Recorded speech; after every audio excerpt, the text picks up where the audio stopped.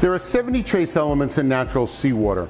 These are things that are found in such small quantity that we can't really test for them. What we do know is that out of the 70 trace elements that exist in the aquarium and in natural seawater, there are 17 of them that will go down very quickly in a reef aquarium. What Tropic Marin does is to give you two solutions that separate those trace elements into mostly the anionic trace elements and mostly the cationic trace elements, and that way they don't precipitate as quickly in solution. A elements is made up of the seven mostly anionic trace elements. These are bromine, fluorine, iodine, lithium, molybdenum, selenium, and vanadium in pure mineral form. K elements is made up of the 10 mostly cationic trace elements.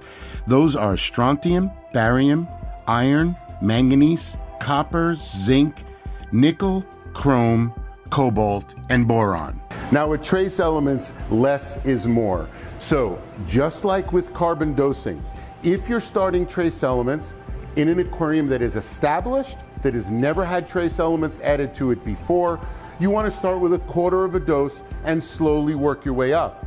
If you see that there is the growth of any undesirable algae, if you stop your trace element addition, in a week or two that algae will die off, and then you start again with a quarter of a dose and again try to work your way up. You do that as long as you need to until you get to the maximum dose. Now, you want to get to a dose of about one milliliter per 25 gallons per day. If your tank is very heavily stocked with corals, you could go as much as two milliliters per 25 gallons per day.